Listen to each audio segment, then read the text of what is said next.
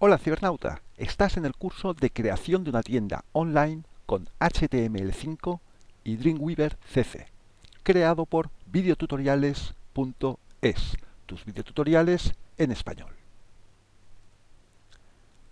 Para poder trabajar con bases de datos PHP y MySQL dentro de Dreamweaver, nos hacen falta tener las ventanas bases de datos, vinculaciones, comportamientos de servidor y componentes.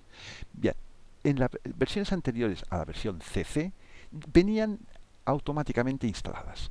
Pero en cambio, en la nueva versión CC viene como extensión. Entonces tienes que instalarla tú. Es totalmente gratuita, ¿eh? pero tienes que instalarla. Para ello, vienes a Adobe Extension Manager. Si no lo tienes instalado, accedes a la web de Adobe y lo buscas. ¿eh? Eh, Adobe Extension Manager es un pequeño programa que mm, administra las extensiones de los diferentes programas que tengas instalados.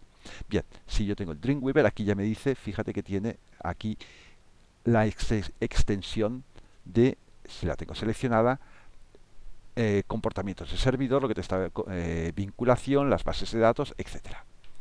Bien, para ello tienes que ir a instalar, ten actualizada la última versión, o sea que si lo tienes instalado ya de otras versiones, vuelve a buscar a internet la última versión de Adobe Extension Manager para poder instalarlo bien. Si no, te dirá que es una extensión que no está firmada. Bien, clicas en instalar y has de acceder a una carpeta muy concreta para ver las extensiones que tienes. Fíjate, has de ir a tu disco C, archivos de programa Adobe, el programa Dreamweaver, carpeta configuración y Disabled Features.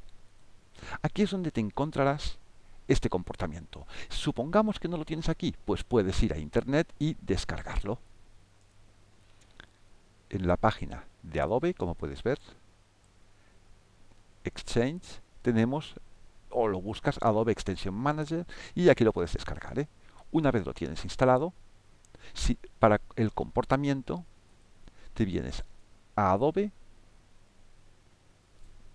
Yo he buscado Adobe Exchange, fíjate, Adobe Exchange. Y teníamos la página esta de aquí, Adobe Exchange descarga.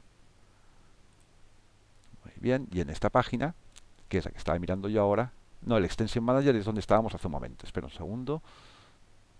Exchange, este de aquí, la segunda aquí es donde accedemos entonces al panel en el que podemos eh, descargarnos nosotros nuestras extensiones. Si vamos al Dreamweaver, aquí aparecerá las diferentes extensiones que tenemos. Y ya estamos en el Adobe. Bien, en la parte de abajo diremos que queremos las de Dreamweaver. Muy bien, aquí los tenemos. Diremos que queremos las gratuitas. Perfecto. Y por aquí la descargué hace poco, para poder trabajar yo bien. Y así teníamos también la última versión. Aquí, mírala, aquí la tenemos.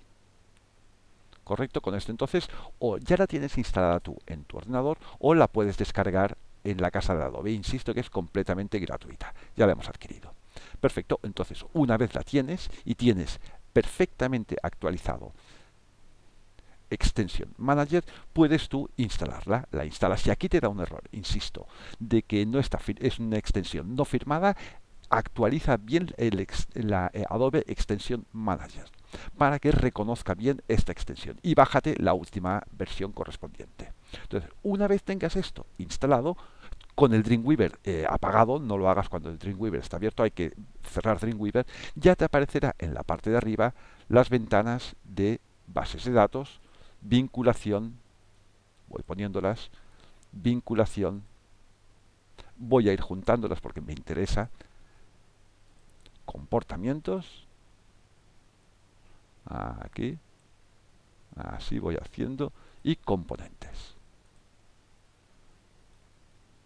Estas son las tres nuevas ventanas que te aparecerán. Y entonces también todo el bloque lo vamos a poner en la parte de arriba. Aquí lo tenemos.